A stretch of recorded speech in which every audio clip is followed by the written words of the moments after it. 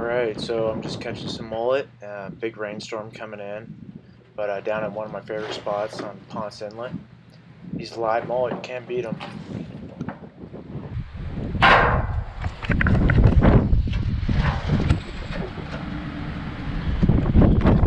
Alright, got bait.